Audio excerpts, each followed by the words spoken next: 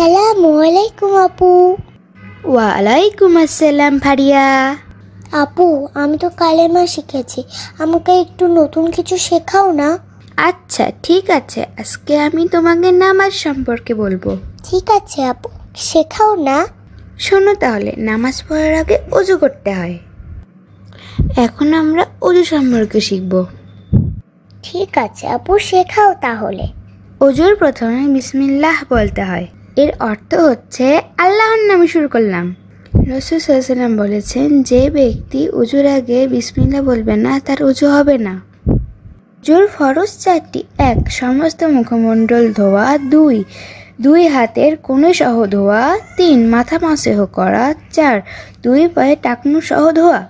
আপু কেমন করে অজু করতে হয়? আমাকে শেখাও না। শোনো তাহলে প্রথমে অজুর নিয়ত করতে হয়।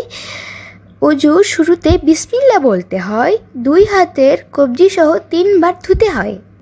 তিনবার কুলি করতে হয়, তিনবার নাকে পানি দিতে হয়, সমস্ত মুখমণ্ডল তিনবার ধুতে হয়। ডান হাতের কোণে সহ তিনবার ধুতে হয়, বাম হাতের কোণে সহ তিনবার ধুতে হয়। সমস্ত মাথা মাসেও করতে হবে। ডান পায়ের টাকনু সহ তিনবার ধুতে হবে। বাম পায়ের টাকনু সহ তিনবার ধুতে হবে। বুঝলাম আপু। ফারিয়া অজু শেষে কিন্তু দোয়া পড়তে হয়। কি দোয়া পড়তে হয় আপু? শোনো তাহলে অজুর শেষের দোয়া।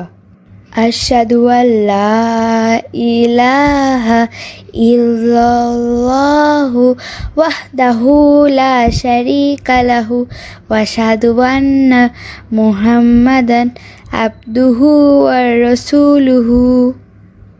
এর অর্থ হচ্ছে, আমি সাক্ষ্য দিচ্ছি যে আল্লাহ ছাড়া সত্যিকার কোনো মাবুদ নেই। তিনি এক, তার কোনো শরিক নেই। আমি আরও সাক্ষ্য দিচ্ছি যে হজরত মোহাম্মদ সাল্লাহ সাল্লাম তার বান্দা ও রসুল। এই দুয়ার সাথে তিরমিজি শরীফের বর্ণনায় আরও একটি দোয়া পাওয়া যায়, তা হলো আল্লাহম্মাজ আলনি মিনাত তাওয়াবিনা। ওয়াজ আলনি মিনাল মুত্তাহারিন এর অর্থ হচ্ছে হে আল্লাহ তুমি আমাকে অধিক তওবাকারী এবং পাক পবিত্র লোকদের অন্তর্ভুক্ত করে দাও। আচ্ছা আপু অজু করার নিয়ম শিখলাম। আপু আমি দোয়াটিও মুখস্থ করে নিব। ঠিক আছে ভারিয়া তুমি দোয়াটা মুখস্থ করে নিও। ঠিক আছে আপু মুখস্থ করে নিব। ইনশাআল্লাহ।